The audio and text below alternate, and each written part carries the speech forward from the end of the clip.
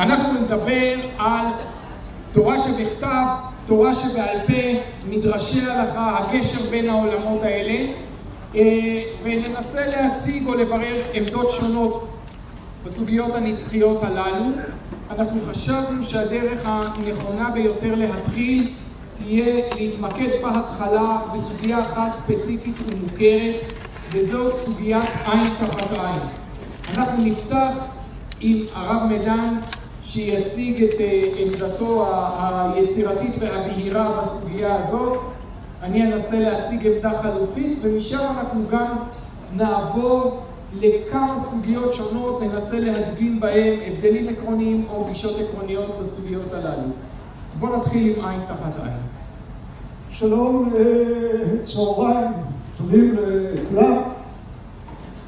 אה, נתחיל באמת מהסוגיה שמדברת על אדם שחובל בחברו, ונאמר עין תחת עין, שם תחת שם, יד תחת יד, רגל תחת רגל, קביעה תחת קביעה, פצע תחת פצע, חבורה תחת חבורה. דומה שאי אפשר להתעלם, שפשוטו של מקרא אומר לנו את הדברים הבאים, אם אתה עקרת לחברך עין, אוכלים לך עין. אם אתה עקרת לחברך שם, עוקמים לך שם, ואותו דבר עם יד, עם רגל, עם פצע ועם אה, חבורה. להכניס כאן לדברים האלה שהמשמעות היא ממון, זה בואו נגיד נראה איזשהו אילוץ שאם אפשר שלא לא לקבל אותו, אני מעדיף שלא לקבל אותו. יחד עם זה, אני חושב שתורה שבעל פה אומרת דברים די ברורים, אולי חוץ משיטה אחת, שיטת רבי אליעזר על פי פשטה, הגמרא מסובבת גם את השיטה שלו, אבל רבי אליעזר, שאגב היה מבית שמאי, טען שעין תחת עין כפשוטו במסכת בבא קמא בפרק החובל, ככה נראה פשט דברם. אבל דעת כל החכמים הייתה, למזלנו, וכולנו שמחים, שהייתה ממון. וכאן עולה שאלה יסודית, כן, האם תורה שבעל פה מתנהלת בציר מקביל לתורה שבכתב, איזה שתי גדות של נחל שלא נפגשות, כמו שירה של רחל על נבו, ו... או שאנחנו מדברים על דרך שחז"ל למדו בה את המקראות. אני בא לטעון לגבי כל ענייני תורה שבעל פה, שזו דרך פרשנות שחז"ל ראו במקראות עצמם, ולא שהם החליטו לבחור ציר אחר. נכון שהלשון של התורה בעין תחת עין אומרת עין תחת עין. אבל יש לנו גם פסוקים אחרים. כתוב, השור יסגל וגם בעליו יומת, אם כופר יושת עליו ונתת פדיון נפשו. אם כופר יושת עליו, מה זה אם כופר יושת עליו? יושת או לא יושת? אפשר להגיד, בית דין יחליט אם רוצה להשית עליו כופר.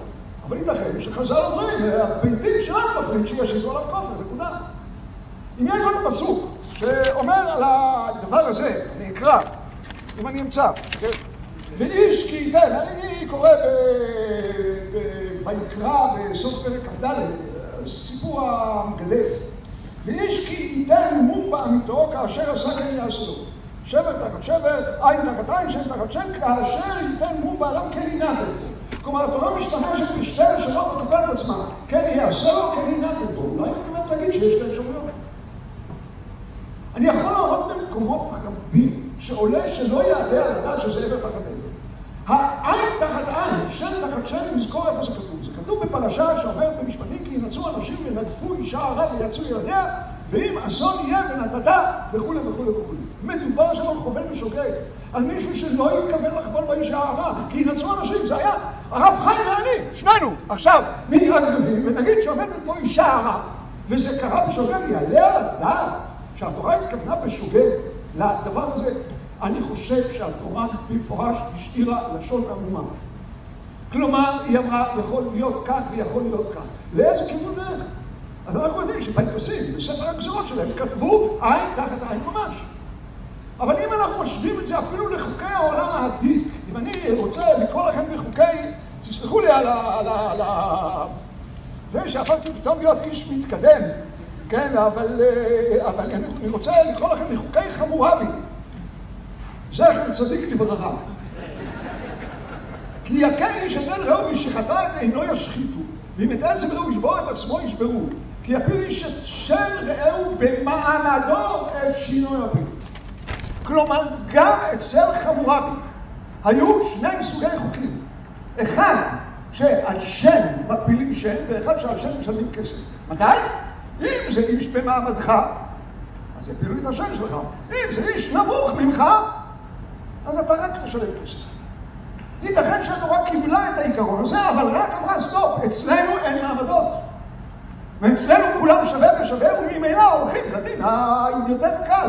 מבין השניים שהיו מקובלים שם, אנחנו לא נחלק, שאנחנו נגיד, אה, אם הפלת של לאשכנזי, אז אתה, אה, אה, יפילו לך שם, אם הפלת של מרוקאי, אז אתה כסף. אין דבר כזה, כולם שווים. עכשיו, אנחנו יכולים לראות את העיקרון הזה, שהוא קיים בהרבה מאוד מקומות. כלומר, את אומרת ככה, אם הלשון עמומה, אחד הלימודים שיש לנו בחז"ל, שאני חושב שכולנו צריכים להקשיב עליו. מאיפה אנחנו יודעים שאחד מארבעת המינים הוא הדס? בתורה כתוב ענף עץ אבות. הגמרא שואלת, אז אולי זה הרדוף? די מתאים. אומרת הגמרא הרדוף, שהגמרא מדברת עליו הוא קוצני, דרכיה דרכי נועם כתיב. כלומר, כשיש לך ספק בין שני צמחים, תלך לצמח הנעים יותר, היפה יותר. למה שלא נפעיל את הכלל הזה גם כאן? יש לשון אומה, הולכים ללשון היותר טובה.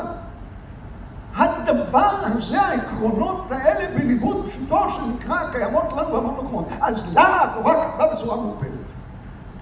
אני מוכן להגיד, אתה רוצה עכשיו או אחר כך? אז אני אגיד רק, למה התורה כתבה בצורה מעופלת? אלה דברים שאני רוצה להוכיח אותם באותו תקופים. אני חושב שהתורה מתכוונת שיש מקרים שאין מנוס מלשלם את היד תחת יד. היום זה נשמע מוזר מאוד להגיד את זה. אבל בימי הביניים נהגו את זה בקהילות. ואם אני אקח מקום שלפחות 50% מהציבור כאן יסכימו איתי בדבר הזה, כן, דבר שנלמד מהגמרא, אומר מהר"ם מרוטנבורג, והמכה את אשתו, מקובלני שיש יותר להחמיר בו במכה את חברו, וחברו אינו חייב בכבודו, ואשתו חייב בכבודה, ודרך הגויים בכך, חלילה לחלילה לשום בן ברית מעשו זאת, ועשו זאת יש להחרימו ולנדלתו ולהלקותו ולעונשו בכל מיני רידוי ואף לקוץ את ידו עם בקיר. אם אין ברירה, זה מה שעושים, אנחנו עוד נראה שהדברים האלה הם פשוטו של מקרא לחלוטין, אי אפשר להתעלם מהם. אם אנחנו רוצים למנוע מבריון להשתמש בכוח שלו, אז לא הייתה, כלומר התורה נתנה את שתי הלשונות כדי לדעת, כדי לתת את ההגה בידי חז"ל, לנווט מתי כך ומתי כך. ברוך השם, חז"ל קבלו לנו ב-99.9 אחוז מהמקרים זה יהיה ממון. אבל יש ה-0.1 אחוז, או פחות מזה 0.001 אחוז, שאנחנו נצטרך להשתמש בפשוטו של מקרא, אבל הדברים לא מתוך, מתוך המקראות עצמם. טוב, אני אציג גישה אחרת בנוגע לעין תחת עין. בניגוד לדברי הרב מדן, אני חושב שהתורה לא עמומה כאן בכלל. אבל אני אציג קודם את גישת הרמב"ם. הרמב"ם בהקדמתו לפירוש המשנה אומר שאחד הרבדים הבסיסיים של תורה שבעל פה זה הלכה למשה מסיני. יש שני סוגים של הלכות למשה מסיני. יש הלכה למשה מסיני שהיא לא קשורה לפירוש של פסוק מסוים, עומדת בפני עצמה, למשל שהתפילין צריכים להיות שחורים, אין לזה רמז בתורה שבכתב, ויש הלכה למשה מסיני שהיא פירוש לתורה שבכתב, אבל פירוש שלא נעזר בדרכי הפרשנות האנושיים ואפילו התורניים שאנחנו מכירים, אלא פירוש שמוכתב ממשה מסיני. והדוגמה המובהקת שהרמב"ם מביא לפירוש שנאמר הלכה למשה מסיני זה עין תחת עין. והרמב"ם אומר מעולם לא נחלק על זה אדם שעין תחת עין זה ממון. ההלכה למשה מסיני קובעת כאן פירוש אחיד וברור וחד משמעי. אותו רמב"ם עצמו, אמנם כמה שנים יותר מאוחר, בחלק השלישי של מורה נבוכים, נותן, יש לו שם ניסיון הירואי, לא, אולי לא מוצלח לגמרי, לתת טעמים לכל מצוות התורה. וכשהרמב"ם נותן שם טעם לדין עין תחת עין, זה אומר, מי שהוציא עין לחברו, יוציאו לו עין. מי שכרת לו יד, יחלטו לו יד, כי זה הצדק. וכך הגון וכל אדם מבין את זה. אותו רמב"ם, שאמר שהפירוש של עין תחת עין כפשוטו המילולי נמחק, כשהוא מגיע למורה נבוכים, הוא כתב את הטעם וההיגיון באותו פירוש פשט שאין מעלותו על הדעת כי הוא נגד הלכה למשה מסיני. איך זה ייתכן? אני מבין, שזה הסבר הפשוט בדברי הרמב"ם, שבאמת התורה שבכתב והתורה שבעל פה כאן משדרות בשני ערוצים נפרדים. כשהרמב"ם אומר בהקדמתו למשנה שעין תחת עין הפירוש המובהק זה ממון וזה הפירוש היחיד, זה התורה שבעל פה והיא הקובעת להלכה. והלכה למעשה אין להעלות על הדעת פירוש אחר. וגם המקרים שהרב מדן הזכיר, כמו דברי המערב מרוטנבורג, שבית דין לפעמים מנצל את סמכותו לפגוע באיבריו של מידות, זה לא נשאר על עין תחת עין, זה נשאר על סמכותו של בית דין שמותר לו גם להרוג. בית דין מקים בעונשין שלא מן התורה. עין תחת עין, הלכה למעשה לא מקיימים.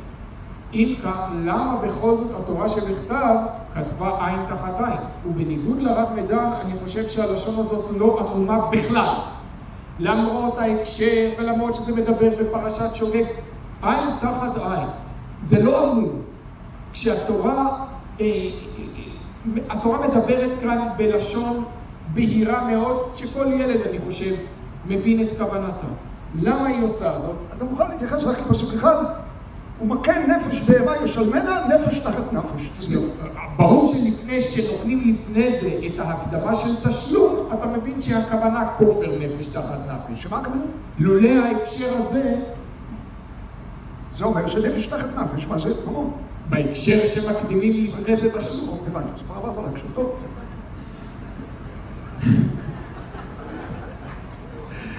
יש למה התורה שבכתב אומרת בצורה כל כך ברורה שהיא רוצה לקיים עין תחת עין כפשוטו? כי התורה שבכתב רוצה להעביר כאן מסר ערכי ומוסרי שלא נועד ליישום מעשי בעולם שלנו. והמסר הערכי הזה אומר שצריך להיות בעולם צדק, ומן הצדק והגמול היה ראוי לקיים עין תחת עין כפשוטו. אין דור, אגב, שהמסר הזה נחוץ בו יותר מאשר הדור שלנו. סטטיסטית, הרב מדן ניחש סטטיסטית שיש פה באולם נשים, אני אנחש, כשאמרת על האלה בקהל שהזדהו עם דברי מהר"ם אה, מרוטנבורג, אני מנחש סטטיסטית ניחוש יותר קשה שיש פה גם משפטנים. והמשפטנים יודעים שהיום בעולם המשפט, כשמדובר ברמה המטה-משפטית, מה שנקרא בלעז jurisprudence, כלומר הפילוסופיה של המשפט, כמעט אסור לדבר היום על שיקול של צדק ושל גמול. משפטנים היום מדברים על תועלת לחברה, על הרתעה ועל שיקום ועל מניעה, לא על צדק. ולתורה היה חשוב להגיד עין תחת עין. למה במציאות אנחנו לא יכולים לממש את זה? כי יש לנו ערכים נוספים שהופכים את התמונה יותר מורכבת. כי יש לנו גם ערך של חמלה. כי קשה מאוד לאמוד, כמו שאומרת הגמרא, בדיוק את אותו נזק גופני. וכי אנחנו לא רוצים להטיל על החברה עוד ועוד בעלי מומים, את מי אנחנו מענישים פה. כל זה אומר שבתורה שבעל פה, אוקיי, היא הלכה לכיוון אחר. מה בעצם ההבדל העקרוני, תגיד אם אתה מסכים איתי רק לניסוח ההבדל, לא לעצם עמדתי.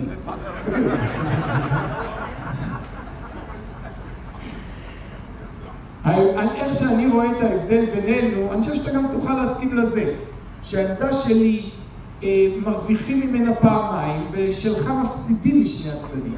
ולמה אני, למה אני מתכוון? ב, ב, מה שאני אומר, יש פה אמירה ברורה של התורה שבכתב, ויש אמירה ברורה של התורה שבעל פה. אתה מפסיד את שניהם. את פשט התורה שבכתב דחקת וקיבצת כדי שיתקרב לתורה שבעל פה. בתורה שבעל פה לא אימצת את האמירה של חז"ל ואת הכיוון של הלכה למשה מסיני, אלא דרשת מדרשי הלכה פרטיים משלך. אז אין לנו לא את התורה שבכתב כפי שניתנה לנו, לא את התורה שבעל פה כפי שנמסרה לנו, הפער ביניהם עדיין נשאר, אני לא חושב שמישהו שמע את ההסבר שלך ואמר סגרנו את הפער, אז מה הרווחנו בזה? מה שהרווחנו זה את הדברים הבאים. קודם כל אני מודה במקצת, זה אומר שעל השאר אני אהיה חייב שבוע ואני מוכן להישבע לשם. אבל אני מודה במקצת. נכון, כשאתה בא ויוצא נגדי אה, עם הרמב"ם, ברמב"ם אני חייב להרים ידיים. אבל הרמב"ם זאת מתודולוגיה פרשנית אני אומר שאני מתקומם נגדה גם במקומות רבים אחרים, ורוב חכמי ישראל לא הולכו כמו הרמב"ם. האמירה הזאת של ספר איוב כולו משל, האמירה בכל מיני מקומות אחרים, שזה במראה הנבואה ולא במציאות. הרמב"ם שהפך את הכתובים לרעיונות, שהרעיונות האלה נפרדים מן המציאות, לא כל חכמי ישראל קיבלו את זה. אי אפשר להפריד את שיטת הרמב"ם כאן במורה נבוכים מן השיטה הפרשנית שלו בעוד אלף מקומות אחרים. רוב חכמי ישראל הלכו בנושא הזה בדרך אחרת, ניסו לקשור את הכתובים עם המציאות, ועין תחת עין עם המציאות. אתה אומר שהתורה דיברה על הצדק. לעקור עין תחת עין זה צדק? כן. הנה, אם כתוב בתורה, רק שבטו ייתן ורפו ירפא. אתה צריך למי שעקרת לו עין, לשלם לו את הריפוי. לשלם לו את ימי המחלה, לשלם לו את כל מיני דברים, וחוץ מזה גם יעקרו לך עין. זה, זה צדק, ומי ישלם לך את הריפוי? ומי, ומי ישלם לך את, את, את כל הדברים האחרים? אין בזה בהכרח צדק. אני חושב שהיא תורה כתבה בצורה כזאת. נכון, התורה אמרה גם בעליו יומת. פשוטו שנקרא יומת, יהרגו אותו. והתורה ממשיכה ואומרת, ייקוף אנושי התנ"ך. כלומר שהיא משאירה את האופציה של תשלום ממון. אז נכון, יהיו מקרים, אני מאמין, אם כי הדבר הזה לא נזכר בהלכה, שיהיו מקרים בשור מועד שהתורה התכוונה שיהרגו את הבן אדם, זה לא מופיע בהלכה. זה לא אם השור שלו הרג שלושה בני אדם, אלא אם הוא התעקש והשור שלו הרג שלוש מאות בני אדם, או עשרים שברים שלו הרגו שש מאות בני אדם. התורה רוצה לומר, כשהתורה אומרת, אז זה אומר שהפשט הזה יהיה באיזה מקום, זה לא בא אצלנו, בדבר הזה בחשבון בהלכה, אבל בעין תחת עין, אני עוד מתכונן להוכיח באותות ומופתים, שכשהמהר"ם דיבר, דיבר מתוך פסוקים, אני, אני, אני, אני, אני מוכן לעשות את זה בהמשך. אבל מה שאני מרוויח, הסכנה הגדולה שאני חושש ממנו, זה דבר שקורה באקדמיה בכל מקום.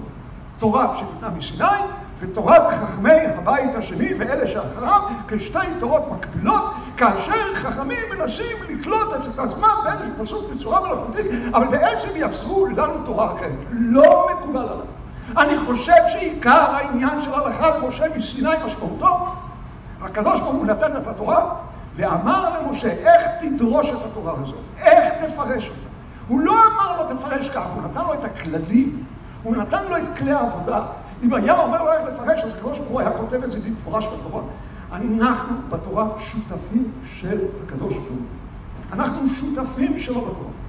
הוא נתן, אנחנו קיבלנו. אם הוא, אם אנחנו לא היו מקבלים, הוא לא היה נותן. כשאנחנו שותפים בתורה שלו, יש לנו, גם הקדוש ברוך הוא נותן לנו את החבל לדרוש ולפרש. אבל שהפירוש לא יהיה מנותק מהפסוקים עצמם, ושלא ימצא לנו איזושהי תורה אחרת.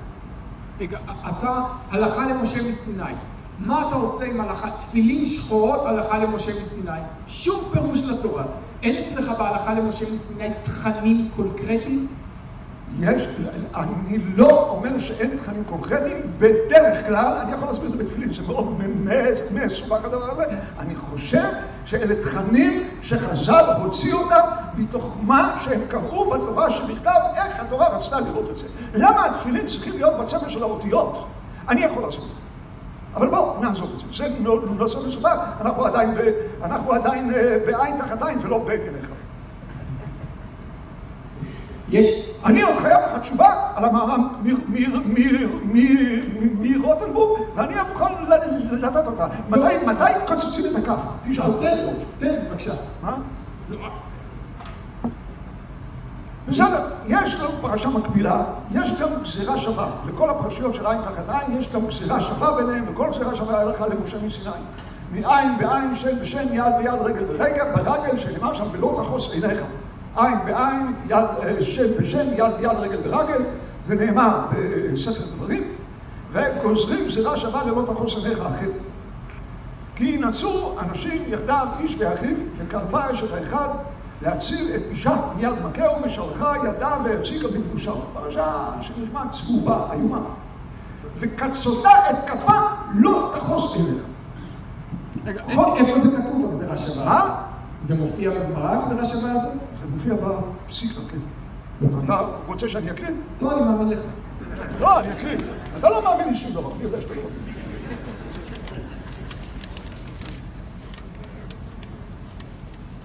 ולא אני קורא בפסיקתא ולא תחוס עיניך, ולהלן אומר וקצותה את כפה לא תחוס עיניך, מה להלן ממון אף כמון. בכל אופן, יש גזירה שווה, אני רוצה. לא, לא, לא. יש כאן, חז"ל באמת התכבדו בשאלה, מה, חותכים לה את היד? חז"ל הלכו כאן ובאמת נשנו שני כיוונים שונים. אחד, שהיא מסכנת את חייו, ואז צריכים אה, להציל אותו באיבריה, כלומר מה שאנחנו יודעים, אה, שכשאנחנו מנסים להציל מישהו, הבא להורגך, לא הורגים אותו, יורים לו בברך, כן? כלומר עושים את הנזק הקטן יותר שאפשרי, גם שיספיק, אז רק חותכים לה את היד ולא הורגים אותה. ככה, אני אנסה לפרש את זה תכף. ואפשרות שנייה שקצובה מלשון קצבה. כלומר, היא ביישה אותו, ומכאן לומדים תשלומי בושת. כל העסק הזה וכל הלימוד הזה, אפס, אני שואל את השאלה, התורה רצתה ללמד אותנו בושת, התורה רצתה ללמד אותנו דיני רודף, שמותר לחתוך את היד של הבן אדם. אתה צריכה להתייחס לכזה מקרה צרות? שאישה מחזיקה במושב של גבר? אין לתורה מה, מה, מה, מה לחפש, אי אפשר לתאר את זה במושגים נורמליים. אני, אני רוצה לומר איך אני עוקב אחרי קריאת חז"ל בפסוק הזה. כי ינצו אנשים יחדיו איש ואחיו. הפרשה הקודמת, זה נאמר בדברים פרק כ"ה, הפרשה הקודמת מה אומרת? כי ישבו אחים יחדיו, אותו ביטוי, ומת אחד מהם ובן אין לו וכולי, ואם לא יחפוץ האיש לקחת את יביתו, ועלתה ידידתו השערה לעיני הזקנים ואמרה מעין ידמי להקים לאחים שם ישראל לא אהבה יפמי כולנו מכירים את המשל וביקשה ידידתו אליו וחלצה לעלום ירד אל רגלו וירקה בפניו ואמרה ככה יעשה לאיש אשר לא יבן את אחיו ומיד כי ינצאו אנשים יחדיו איש ואחיו וקרבה אשת האחד להציל את שם מגן שתי פרשיות שנותנות לנו אירוע דומה. אישה שצריכה להציל את בעלה. האיש מת, מת בלא ילדים. ואנחנו רואים שחובתה שלה, שחובתה של האישה להציל את שמו, שלא ימחה שמו מישראל. איך הדרך שלה להציל את בעלה שלא ימחה שמו מישראל? להתייבן. היא נאבקת על זה. אם לא יחפוץ האיש לקחת את יביתו ועלתה יביתו שרה על עיני הזקנים ואמרה ממני ומי היא חייבת להיאבק על חובתה להקים לבעלה שם. האח לא רוצה, כמו שאנחנו מקחים מערב העונן, ויין העונן כי לא לא יהיה הזרע, והיין בא אל אשת אחיו וישחט ארצה לבלתי נתון זרע לאחיו, אחי לא רוצה להקים שם, רוצה שהאח ירד לדמיון שם. היא נאבקת. מה היא עושה? ירקה בפניו, על פי הפשט, ירקה בפרצוף, כמו ואבי הירוק ירד בפניה, וירקה בפניו, היא מביישת אותו. והנה באה הפרשה השנייה. אישה באה להציל את בעלה, מישהו שמכה, מה היא עושה? היא מביישת. במקום אחד התורה אומרת מה שהאישה עושה זה מצווה, במקום השני אומרת בשום פנים ואופן. לדעת את הגבולות. מה מותר לאישה לעשות כשהיא באה להציל את בעלה? זה חובה, זה מצווה, יש לזה גבולות. להחזיק במבושם של מישהו אחר כשהוא רק מכה אותו, זה לא, זה דברים שלא עושים. כאן היא נענשת וכאן היא מקיימת מצווה. מצד שני, אם אני לוקח, כשהיא אומרת ככה יעשה לאיש אשר לא יבנה את בית אחיו, הכוונה זה לא ליריקה, אלא גם שמך יימחה. אם אתה לא רוצה להקים שם לאחיך, גם שמך יימחה. ואז אתה יכול להבין את הפרשה של והחזיקה במבושם, מה היא מנסה לעשות? לא, מנסה לסרס אותו. שלא יהיו לו בנים. ואז כמובן כל הפרשה מקבלת משמעות אחרת, שאתה צריך לחתוך לה את היד כדי להציל. זה נקרא רדיפה, זה לא סיבה להרוג אותה, זה סיבה לחתוך את היד, אבל הדברים נובעים מפשוטו של מקרא, באים חז"ל ונותנים לנו אפשרויות שונות, שנובעות, דרישת פסוקים, גזירה שבה שאני ממציא, יחדיו יחדיו, אבל התורה משתמשת באותן מילים, בהקבלות. חז"ל עושים ואומרים, יש כאן אירוע חריג שאישה צריכה להציל את בעלה, יש מקרים שזה מצווה, יש מקרים שאם תעשה את זה, אוי ואבוי. הדלקת נרות בערב שבת זאת מצווה.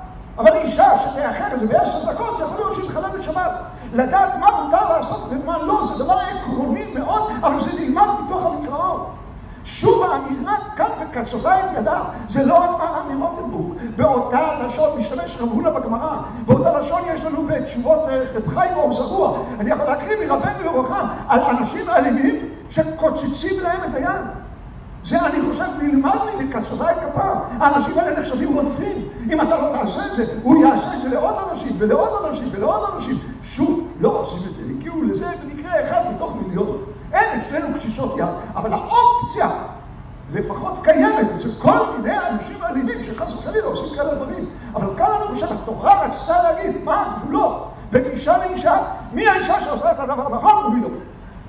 הרב מדן, המדרש שהצגת עכשיו הוא וירטואוזי, באמת, אני חושב שאני מדבר בשם כולם, זה תורה מדהימה, תורה שלישית, יש תורה שבכתב, תורה שבעל פה ותורת הרב מדן. כי מה שאתה עשית... ותורת הרב חיים. כן. מה שאתה עשית, אתה יצרת מדרשי הלכה תנאיים חדשים שלא אמרו התנאים. כלומר, זה כאילו אני סוחר מעצב פנים לעצב לי את המטבח, אני חוזר למחרת ואני רואה שבן אדם מביא בולדוזרים ומתחיל לדרוס בתים בשכונה שלי, והוא אומר, השכונה שלך לא מתוכננת טוב, אני בונה אותה מחדש.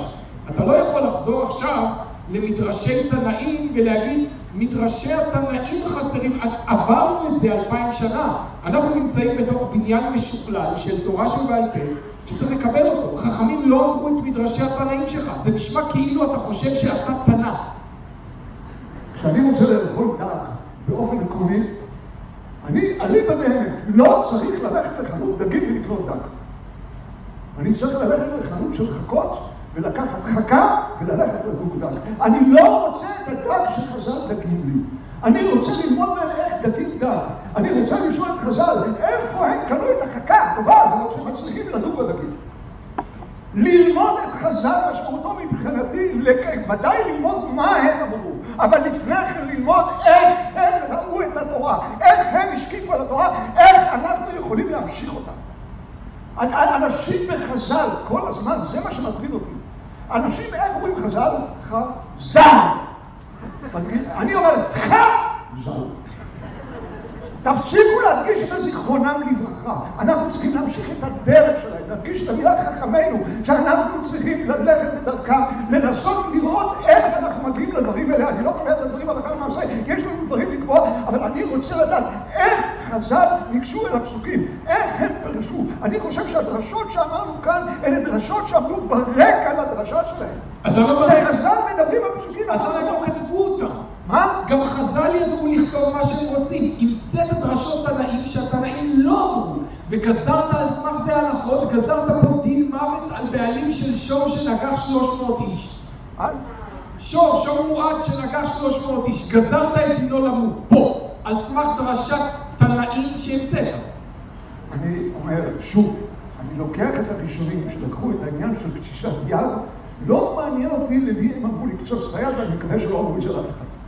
אני רוצה לדעת איך הם למדו את הפסוקים, השתמשו במילים האלה של את כפה. אני לא חושב שמישהו פעם דן אדם למוות על זה שהשור שלו נגע 300 איש, בגלל שאני בטוח שלא היה שום שור שנגע 300 איש. אז בשביל מה התורה צריכה לכתוב את זה? כן, אני כן חושב שהאופציה צריכה להיות קיימת. אנחנו צריכים להקשיב לתורה שבכתב ולדעת היא אמרה דברים מעשיים. אתה שולח את התורה שבכתב, אתה מעלה אותה לגובהי התיאוריה. ואתה שם את חז"ל בעמקי העולם המעשי, ואתה לא נותן להם להיפגש. אני חושב שהתורה רמזה על האופציות האלה. אנחנו צריכים לקרוא את התורה כמו שאנחנו חושבים ולומדים שחז"ל קראו אותה בהמון מקומות, וללכת בעקבותיהם לקרוא את התורה, לדעת מדרוש. אני יודע להבדיל בין מה אנחנו יכולים לעשות הלכה למעשה ומה לא, ואני, ואני אדוק אחרי כל האחרות של השולחן ערוך. לחלוטין. אבל לדעת איך עושים את זה. מכוח מה מגיעים לזה? אני חושב שזו ידעת שבה אנחנו צריכים ללמוד. יום אחד אנחנו נצטרך להקים סנהדרין, שיצטרכו לדרוש את התורה מחדש, ולהוסיף המון דברים. הדברים שנדרשו, נדרשו לפני אלפיים שנה, אלא אנחנו יכולים ליישם אותם במאה ה-21, כפי שהם לא. סנהדרין יצטרכו לדרוש את התורה מחדש בהלכה למשה מסיני, כלומר עם כלי העבודה שמשה קיבל מסיני, ומסרם ליהושע, מיהושע לזקנים וזקנים לנביאים. אבל הם עושה כלי עבודה, לדעת איך את ההלכה למשה מסיני על פיה. מה? ההלכה למשה מסיני בדיוק אומר שיש דברים שאין לנו שיקול דעת לגביהם, שהתורה נתנה מסרים ספציפיים למשה רבנו. אתה, אתה אומר, אתה ממציא הלכות למשה מסיני. אני לא ממציא, אני טוען שברוב הגדול של הדברים, לא בכולם. הקדוש ברוך הוא לא נתן למשה דגים, הוא נתן לו הרחקות. הוא נתן לו הלכה למשה מסיני בשלוש עשרה מידות התורה נדרשת. הוא נתן לו כלי עבודה איך לפרש פסוקים על פי מציאויות שונות במצבים שונים, איך לפרש את הפסוקים ולבוא בחמתם. אני חושב שזה עיקר דבר שבעל פה, יש את הדבר הזה יוצאים מן הכלל. אני בהחלט מסכים שניסוך המים, גם את ניסוך המים אני יכול ללמוד מתוך הפסוקים שלנו. אז מה, מה יוצא דופן? הנה, חז"ל אמרו שניסוך המים הלכה למשה מסיני. אבל אי אפשר ללמוד את זה מזה שביום השישי כתוב מנחתה ומנסחיה, משמע שיש שני נסחים, אז אם אחד יין אז אחד מים, אי אפשר ללמוד את זה משם. גם דברים שמלאכה למשה מסיני ברורים. אנחנו יכולים למצוא איפה התורה אמרה את זה בכתובים. שוב, אני חושב שהקדוש ברוך הוא נתן למשה שני דברים, תורה וכלי עבודה. היה ראוי לעשות עין תחת עין למי שלא קיבל את הטלפון שלו. הייתי צריך לבוא לארצות שלכם ולהפעיל טלפון. אתה צוחק פה, אתה צוחק.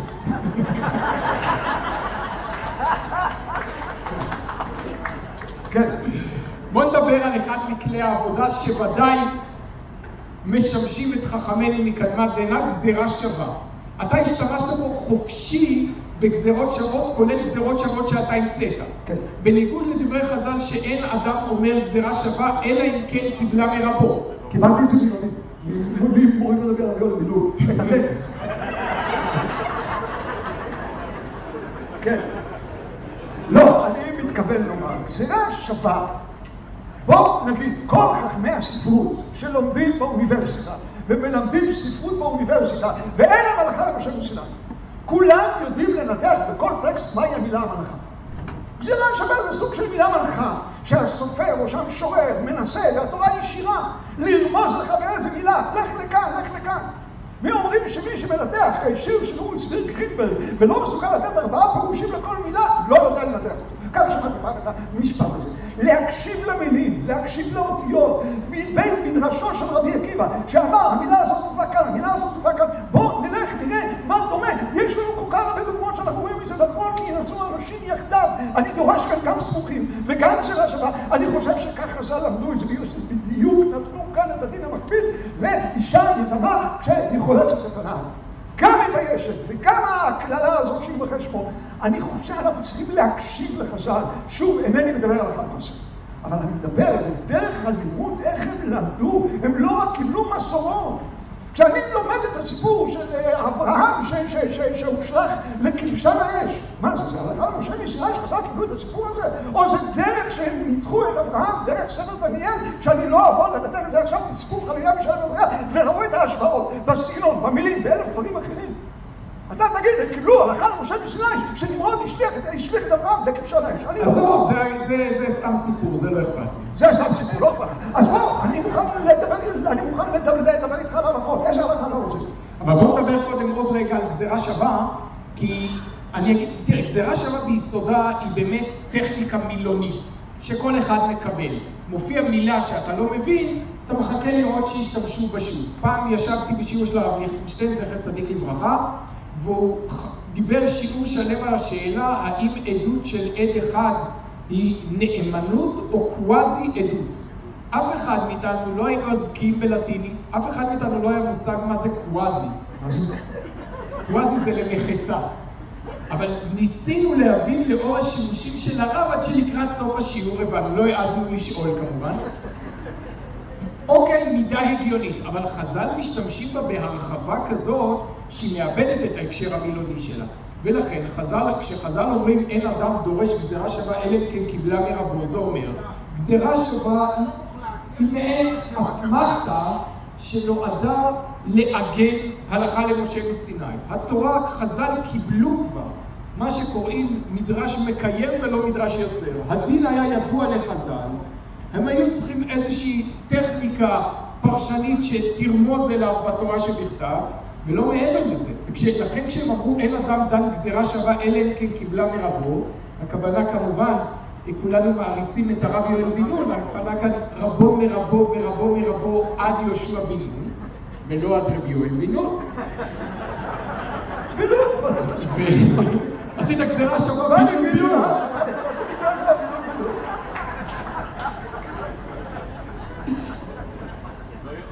אני, אני באמת, אה, אה, כל תחום ידע, ודאי בתורה, נבנה שלבים שלבים בדרגות רבות, ואתה לא מקבל את זה. כלומר, אתה לא מקבל את זה שאנחנו נכנסים לבניין תורה שבעל פה, שאנשים בנו לפנינו את המרתף ואת היסודות, בקומה ראשונה, שנייה או שלישית, ואנחנו בוא נבנה קומה רביעית, לא עושים את הקומה הראשונה לבנות אותה מחדש. אנחנו לא הולכים לבנות את הקומה הראשונה מחדש, אנחנו הולכים לחשוף את היסודות של הקומה הראשונה כדי לראות איך בונים את הקומה הרביעית. אני מוכן ללכת לאותה גמרא, שעכשיו הדגרת אותנו, שאין אדם דן גזירה שווה אלא אם כן קיבלה לרבות. הייתה, היה ויכוח פעם בירושלים, חל ערב פסח להיות בשבת, כלומר י"ד אה, בניסן חל להיות בשבת, לא ידעו אם פסח דוחה את השבת או פסח לא דוחה את השבת. ובא הלל הזקן ודרש להם אה, גזירה שווה, במועדו במועדו נאמר קורבני לחמי לישי תשברו להקריב לי במועדו. וכתוב יעשו בני ישראל בבשר במועדו, כמו שכאן זה דוחה שבת, כך כאן זה דוחה שבת. אמרו לו מה אתה מבין לנו גזירות שבת? אין אדם דן, זו גזירה שווה, אלא אם כן קיבלה מרבו. מוריי ורבותיי, לימוד הגזירה השווה הזאת הוא פשוטו של מקרא. אי אפשר בלי זה. פסח דוחה שבת? כן, קורבן פסח דוחה שבת. מסורות חזק בכל מקום. בזמן חנוכת המשכן, שאותו היום של חנוכת המשכן נטל עשר עטרות. ראשון למעשה בראשית, ראשון לחודש וכולי וכולי. בואו ניקח רק את שתי העטרות האלה שנטל היום הראשון לחנוכת המשכן. ראשון למעשה בראשית, כלומר זה היה ביום ראשון בשבוע, סנדיי, וראשון לחודש, זה היה בראש חודש, ראש חודש חל ביום ראשון. אם ראש חודש ניסן, שהוא קם במשכן, חל ביום ראשון, אז מתי היה ערב פסח? בשבת. ומה אומר הקדוש ברוך הוא? ויעשו בני ישראל את הפסח במועדו. כלומר, אמר להם במועדו, אפילו בשבת. אומר, רבי אומר לנו זה בדיוק מה שנאמר, ותשמרו להקריב לי במועדו, שהכוונה, אפילו בשבת, שזאת הכוונה, ענייני קורבנות דוחים את השבת, אבל זה לא יכול היה לפעול בלי פשוטו של מקרא, אני יכול להראות את זה בהמון גזרות שבועות, זה לא רק מילים, מה, מילים זה דבר יבש, ואחרי כל מילה עומד תוכן. אבל כל המבנה שלך נסמך על הלכה למשה מסיני, שאותו היום היה ראשון למעשה בראשית. זה לא כתוב בפשט המקרא. מה, ש... מה שהרווחת כשוויתרת על הלכה למשה מסיני פה, הפסדת בהלכה למשה מסיני שם. שם זה לא הלכה למשה מסיני, שם אני חושב שזה נובע מפשוטו של מקרא, אבל זה נושא מסובך, אני חושב שגם את הדבר הזה מתעלל. אני מוכן ללכת, ועוד זה עוד שבוע. יש את הדברים האלה תוכן. אנחנו מכירים כולנו את גמר כיחה כיחה משדה אפרון. מאיפה יודעים שקידושי כסף כתוב כי קח אישה, נתתי כסף לשדה, קח ממני? מה זה, זה סתם עניין? יצא לנו בשיעור אחר, דבר כאן באוהל הזה, בבוקר זרע זרעך ולערב תנח ידיך, כי אינך יודע איזה הזה או זה, ועם שניהם כאחד פנים. אדם זורע בשדה, והשדה מדביק לו את הזרע ומצמיח לו את יבול. אדם זורע באישה, בבוקר זרע את זרעך, זה בשדה, לערב תנח ידיך. אם הוא זורע בלילה, ובלילה לא זורעים בשדה, בלילה זורעים באישה.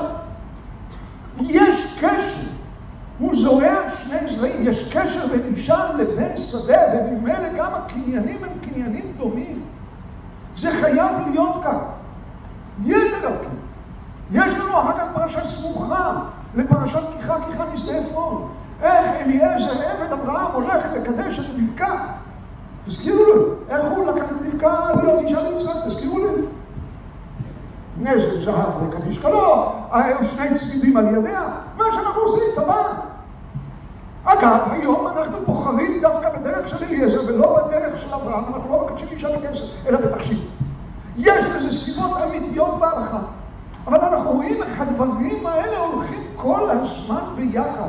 התורה רצתה, כלומר חז"ל רצו להדגיש לנו כאן על פי התורה. אדם לוקח שדה, אדם לוקח אישה, אדם צריכה להיות המטרה, להעמיד דור חדש, להעמיד זרע חדש. כל הדברים האלה הולכים ביחד, חז"ל הקשיבו לתוכן, ואז הלכו לחפש את המילים הדומות וללמוד מהם, וזה בכל מקום ככה. מה המשמעות? סתם ללמוד מילה כתובה כאן ומילה כתובה כאן בלי שום קשר? מה, התורה שלנו זה ספר טלפונים עם טכניקות? תורה, כל מילה מייצגת תוכן אצל חז"ל, כל מילה צריכה המון תוכן. אני יודע מאיפה ללמוד 39 אבות מלאכות, וזה כבר עשו לפניי. יש, כשאתה מקטין את הפער, מצמצם את הפער בין התורה שבכתב לתורה שבעל פה, אתה מגדיל באותו זמן את הפער בין התורה שבעל פה שלנו לתורה שבעל פה של חז"ל. כי את הפסוק הזה, בבוקר זרע את זרעיך ולערב על תנח ידיך כמקור להיקש בין קידושי אישה לקניין זה הבוקר ובשדה, וזה בערב ובאישה, כן. כן. זה דרשה שלך, אתה נוטש פה, חז"ל אמרו כיחה כיחה משדה עפרון. למה הם לא אמרו את המהלכים שלך? את הפסוקים הם גם הכירו. אני טוען שזה בדיוק מה שהם אמרו, שאם אתה לומד אישה משדה, צריך להיות קשר שאנחנו צריכים לראות, קשר חיובי, קשר של בנייה, של יצירה, בין אישה לבין שדה, ואז בוא נלמד איך קונים שדה. אני חושב שזה מה שהם אמרו. תמיד חז"ל דיברו לנו בקומה הבאה. הם היו כל הזמן מדרש, היו כל מיני דברים שאצלם היו מובנים לגמרי, והם העלו אותנו ונתנו לנו להסתכל על השפיץ העליון, ואנחנו צריכים לגלות מאיפה היסודות של זה. זה התפקיד שלנו. מאיפה היסודות של מה שהם לקחו? אז דרך בוא נדבר על מקרה אולי דומה לעין תחת עין, וזה בן סורר ומורה. יש... מה הבעיה שלך? בן סורר ומורה. כן, נו. יש בן סורר ומורה, בפשט התורה, אביו ואמו אוחזים בו ומוציאים אותו אל בית הדין, ומוציאים אותו להרג, וחז"ל קבעו לנו בנחרצות בן סורר ומורה לא היה ולא נברא, ויש שמעגנים את זה גם בטכניקה פרשנית וירטואוזית, אמנם בסגנון מאוד שונה מהסגנון שלך, של היקש בין אביו לאמו, שאפשר להרוג בן סורר ומורה רק אם אימא שלו זה אב לאבא שלו במראה ובקול ובקולה. מה אתה עושה עם הפרשה הזאת?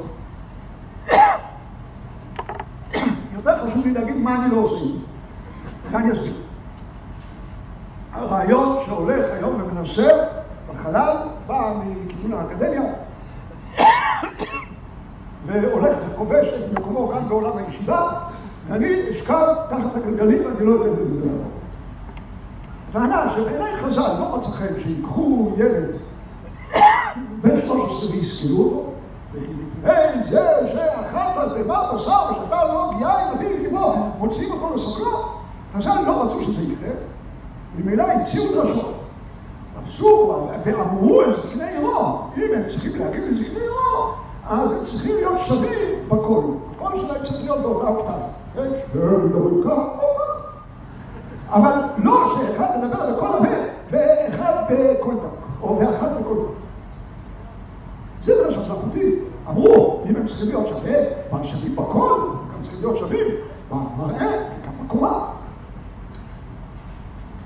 לכולם היה ברור שזו דרשה מלאכותית, ואיזשהו תירוץ מתחת האדמה כדי להוציא את הדין בין סורר ומורה ולמחוק אותו מהאדמה. מוריי ורבותיי, אתם רוצים לבחור דין בין סורר ומורה מהאדמה בסדר, תעשו את זה ביושר. תביאו מספרה, תחתכו את הפרשה. תעשו את זה ביושר, אל תרבו אותם, ואל תיתנו לנו דרשות מופרכות בלתי מתקבלות על הדעת כדי לעקוף פרשה. זה לא בפרשה. אני חושב שחז"ל הייתה להם דרך ללמוד כאן את המקרא, והם ידעו גם בהלכה למשל משנה כמה מותר להם למתוח את המקרא. אני יודע שמקודם היה פה 50% מהציבור שהיה יחד איתי, שדיברתי על האמירות האלה. עכשיו אני מדבר על חצי הסיפור השני, ואני רוצה לדבר אותו. בן של אדם בתורה בכל מקום הוא בן של אדם. יעמוד רבי יעקב בן רבי שאול. אנחנו אומרים, בן הוא בן של אביו. בכל מקום אביו הוא הממונה על חינוכו, והאישה, האמא, ילדה את הבן לאבא. אני יודע שהבמה ה-21 אנחנו לא אוהבים את זה, גם אשתי לא אוהבת את זה, אפילו לא אוהבת. אבל בן הוא בן אביו, ותמיד האב אחראי לבנו, והאב נאמן על אביו, להגיד זה בני, זה לא בני. זה נאמנות של האב, כי את הבכור בן משמע יכיר, אנחנו לומדים, הבן הוא בן אביו. פרשת בן סורר ומורה, אחת משתי פרשיות יחידות, יוצאת מן הכלל לחלוטין. פתאום מתברר בפרשה הזאת, מה? שהאימא שווה לאבא. האבא לא יכול להגיד לבן שלי בסורר ומורה תסתכלו. תפשובו אבי לאמו, ויסחו אותו ולא ישמע עליהם. איננו שומע בכל אביו ובכל אמו. האבא והאימא באים ביחד. האמא יש לו זכות להגיד יחד ולהגיד, אני לא מוכנה שיסכלו אותי. האמא שווה לאבא לחלוטין. זה קיים כל פרשה אחת התורה, אם אני אספיק, אני אגיד איזה והיא נוגעת אלינו. כלומר, התורה אמרה, לנושא בן זוג ומורה, האבא והאמא, אני מסתכל עליהם באותו. עד היכן אני מבטיח את זה? ברור, חז"ל רצו למעט דיני בית סוהר, אבל אמרו, אם התורה נתנה לנו את הפתח למציאות שאבא והאמא שווים, אז בואו נדרוש שהם יהיו שווים כל כל מיני דברים. שוב, יצדק הרב חיים נבון, אם אני במאה ה-21 אדרוש את זה בצורה אחרת. לא ימנו אותי אף פעם לסנהדרין, בגלל שאני עם הארץ, אבל אני חושב שסנהדרין, אם תהיה, הייתי צריך לדרוש לפסוקים בצורה אחרת. למי אכפת אם האבא והאמא באותו גובה, או אם יש להם אותה אותה קול? אבל היום היינו דורשים את זה, עד שיהיו אביו ואמא שווים, במשכורת, בהשכלה, בדרגה הצבאית, אני לא יודע. שמדובר כאן רק במצב שאבא ואמא שווים, למה הדבר הזה קשור לתוכן של בן סורר ומורה, אני יכול להסביר. ואני לא ממליץ לאף אחד שיהיה בן שאבא ואמא שלו שווים בכל דבר, הם צריכים להיות שווים. ואולי זה מה שמסביר את בן סורר ומורה, אני לא יכול להסביר, אבל זוהי דרך ללמוד פסוקים, התורה אמרה שאבא ואמא שווים, היא אמרה את זה. במה הם שווים? זה חכמי תורה שבעל פה, אם לא היו לנו מראה בכל מקומה, חכמי תורה שבעל פה שישו בדומה, אני מעריך שהם יהיו בדברים האחרים, בגובה המשכורת או בכל מיני דברים כאלה. שהם יהיו שווים. יש אגב עוד פרשה כזאת. ואני חושב... ומה אתה אומר? שבעצם האימא לא תיתן להוציא אותו להריגה? זה ההנחה קודם שלו? כל זה סביר מאוד. זה סביר מאוד שהאימא לא תיתן. ולכן בן סוהר ומורה לא היה ולא נברא, אלא משל היה כי לא תהיה אימא שתיתן לעשות את זה. אבא לפעמים יכול להתעצבן קצת. תראו את שאול, שאומר ליונתן, מות תמות יונתן, כשיונתן לא שמע את השבועה שלו. אני בטוח שאימא של יונתן לא הייתה מסכימה אם היא הייתה שם בשדה הקרב. האימא לא תיתן, ולכן בן סוהר ומורה לא היה ולא נברא. אז מה זה למה נכתב דרוש לקבל שכר? עניות הבנתי. האבא והאימא חייבים לדעת, חינוך הילד מותר ללכת. אתם לא יכולים להטיל את חינוך הילד שלכם על בית דין, להגיד, תשמעו, הוא פושע. הוא פושע, תחנכו אותו. אתם רוצים שאנחנו? אנחנו נזכור. ברור, היה לתורה, שכשאנשים יודעים שזוהי ההלכה, הם לא יביאו את הבית דין שלהם. ואם האבא יבין, היה ברור לתורה, האמא לא תסכים. אם יש פה אמא אחת שחולקת עליי, שתקום. ואיזה עוד פרשה אתה רואה את זה? מה? איזה עוד פרשה אתה רואה את זה? יש עוד פרשה אחת, ולכן אני לומד אותה כרגע בפשטה, לא הלכה למעשה, אני חושב שהיא טובה מאוד. זוהי הפרשה של נערה שזנתה. של נערה שזנתה, כי ייקח איש אישה ובעליה ושנאה ושבלה לראות דברים והוציא עליה שם רע ואמר את האישה הזאת לקחתי ויקרב אליה ולא מצאתי לה בתולים ולקח אבי הנערה באימה והוציאו את בתולי הנערה לזקני הירשה וכולי וכולי וכולי. על פי חז"ל, כמובן כל הפרשה, על פי הפרשנות של חז"ל, אה, הכל על פי התראה ועדים, אז מהי המשמעות? תפרסו הסדרה לפני זקני העיר? פשט הדברים מדובר על נערה שזרתה בית אביה. סליחה על המילים, זה בת סוררת ומורה. בן סורר ומורה, כשירצה לצאת נגד ההורים שלו כדי להרוויח כסף, הוא יקנוב בשר ויקנוב יין. בת סורר ומורה, תצא לזנות, ותשנה פתח בית אביה, יש קשר בין הפרשיות, וזוהי משמעות הזכרה, אבל זה נושא מסובך מדי, נשאיר אותו. אבל אני חושב שכחז"ל אמרו שווים במראה, בקול, בקומה, הם הבינו את רוח הפסוקים, מתחו את זה, כמה שרק יכלו, אבל מתוך הפסוקים עצמם, ולא כאיזו הרצאה, כדי בעצם בעקיפין לעקור ולגזור את הפרשה מן התורה, לא יעלה על הדעת. אם מדברים על אב ואם, אה, לא אמנע. אני לא יכול להתאפק מלספר לכם אה, סיפור שלפני הרבה שנים שמעתי מהרב מדן, סיפר לי על אבא שניצב בפתח של חדר לידה, וכל דקה בא לשאול, אז כשהאבות לא נכנסו לתוך חדר הלידה, וכל כמה דקות בא לשאול את השם, נו, יש חדשות? והאחות אומרת לו, עדיין לא, עדיין לא, ובסוף, אחרי שעות, היא אומרת לו, מזל טוב, מזל טוב. הוא אומר לה, נו, ובן או אמרה, בת! אז ברוך השם, שלא תצטרך לעבור את מה שאני עברתי עכשיו. טוב, זה הסיפור אבל תראה, אני, אני, טוב, אתה מבין מה אני אומר על בן צורר ומורה. שהתורה כתבה את הפרשה כי יש בה מסר חינוכי נוקשה וברור, ולצד זאת העבירה מסר של הלכה למשה מסיני שאומר לא היה ולא נברא. וחז"ל עיגנו את זה בדרשה כלשהי לא בגלל שהם ראו במקור, והם לא, אם הם היו חושבים על הדרשה שאתה רצית, הם היו אומרים אותה. הם לא היו אומרים שתהא שווה לאביו במראה ובקומה. כן, מוריי ורבותיי, יכול להיות שבעצם אין מחלוקת גדולה בין הרב חיים לביני, ואני אסביר מה. יש לנו בתורה שני ספרי תורה. ספר תורה אחד, שכתוב, ויכתוב משה את התורה הזאת, והייתה לה קודם לוי, ולקוח את ספר התורה הזה, וסופר אותו מצד אדם בברית השם. יש לנו ספר תורה, שנועלים אותו בתוך ארון הברית ובמדף מן הצד. ספר התורה הזה נמצא בקודש הקודשים.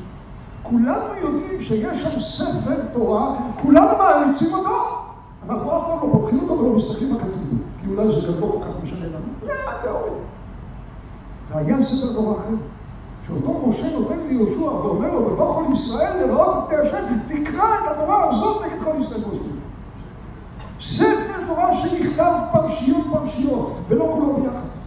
ספר תורה שהלך עם עם ישראל לאורך ההיסטוריה, והמשיך להיכתב ולהיפתח כל הזמן. ספר תורה שהיה חלק מן החיים. הגישה שמייצג כאן רב חיים, מבחינתי, אני מוכן לקבל. התורה נמצאת אי שם בגובהי התיאוריה, בתיאורטית. דינו של בן סורר הוא מורה לו כזה, אבל חז"ל, על פי השיקולים שלהם, יגידו מה קורה למעשה. והם יגידו, התורה זה התיאוריה. לשון אחרת, התורה נבעדת למעלה אל בית הלא אנחנו נדע שהיא מכובדת, היא תמיד תהיה שם, אבל אף פעם לא נשאל אותה מה לעשות. תמיד אנחנו נלך לחזר. הדרך שאני מדבר על תורה שניתנה מגילה מגילה, שמשה רבינו כותב אותה יחד עם כל הקצוות שבני ישראל עובדים במדבר, וכשבנות צלפחד באות אה, לשאול שאלה, אז הוא כותב את הפרשה שלהם. כשבני יוסף באים אליו ושואלים שאלה, הוא כותב את הפרשה שלהם. כשהוא פוגש את בני ישראל, הוא ממשיך וכותב את הפרשה. הספר התורה נכתב יחד עם יצירת עם ישראל, והולך יחד איתם. זוהי תורה שהולכת עם עם ישראל, תורה של בכתב שהולכת יחד עם עם ישראל. אף פעם לא נוכל ללמוד רק מתוך תורה שנכתב, אנחנו לא צדוקים. כי תמיד נלך עם ארגז כלי עבודה, איך לפרש את הפסוקים, איך להקשיב לכל מיני פרשיות מקבילות בכל מיני מקומות אחרים, איך להבין את התוכן של התורה רוצה מפה ומשם עם ארגז כלי עבודה, אבל שהתשתית שלו היא התורה שנכתב ומכוחו. זה לא ארגז כלי עבודה, זה ארגז כלי פריצה, מה שיש לך. אבל פה, תן לי דוגמה, הרב מדן, למקרה שבו התורה שבכתב מבית הלורדים משאירה, כפי שאתה מדבר, איזה שער או ניסוח עמום, כאילו כהזמנה לחכמים אה, לדרוש אותו איך, ש... איך שהדור אה, מתאים, או איך שהתפתחויות התקופה מבקשות. בסדר, אני מוכן לתת דוגמה, במקרה דיברנו עליה בשיעור, נדמה לי אתמול, אז אה, היא קיימת אצלי, ואני אקח, אני יודע. מחפש, אם אני לא אמצא, אני אגיד לכם בעל פה. כן, קצת. אה, ספרה, תורת כהנים, בפרשת אה, מצורע, והדבר בנידתה. זקנים הראשונים אמרו, זקנים הראשונים זה זקני בית שמאי, לכן דיברתי על זה בשיעור אתמול, שלא תכחול ולא תפקוס ולא תתקשט בבגדי צבעונים, כלומר, האישה צריכה להיות כזאת זנוחה ועלובה כל ימי טומאתה. עד שבא רבי עקיבא ולימד. אם כן, אתה מגנה על בעלה. אתה מגנה אותה על בעלה, ונמצא בעלה מגרשה. אלא מה תדעו לומר והדבר בנידתה, בנידתה תהא עד שתבוא במעלה. עד שתבוא במעלה. שתי הדרשות שקולות. אפשר ללמוד והדבר בנידתה, כלומר תהיה בטומאתה, בדחייתה, ואפשר להגיד בנידתה, כלומר היא תהיה הרבה זמן בנידתה. כלומר, זה יכול להיות 30 יום, 40 יום, עד שהיא תחליט לטבול. שני הפירושים האלה שקולים. מה אני אעשה בשני פירושים שקולים? טוב, הוא אמר שיש לנו חצי שעה, אז בסדר. אה, מה? זה למדתי שקוראים לי הרב יוני קרוסמן. זה בסדר, גם אני פה, נגמור בזמן. שני הפירושים שקולים. מבחינה תיאורטית, כשאני בא לפרש שני הפירושים שקולים. מה צריכים לעשות כשיש שני פירושים שקולים? צריכים להחליט. ספקא דאורייתא בכל מקום לחוק. צריכים להחליט. אני חושב שרבי עקיבא וזקנים הראשונים נחלקו בשאלה מה זה להחמיר. האם להחמיר זה אומר שהיא תהיה כמה שיותר מרוחקת, או להחמיר פירושו דברים, כמה אנחנו חייבים בכבודה של האישה הזאת. אנחנו צריכים להחמיר בכבודה ולדעת כמה כבודה חשוב מהם. אנחנו צריכים להחמיר בדיני שלום בית.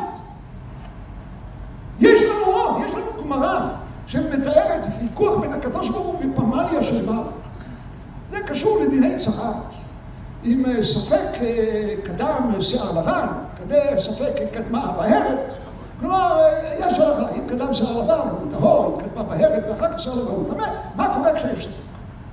הגמרא אומרת שנחלקו בזה הקדוש ברוך הוא בפמליה של מעלה.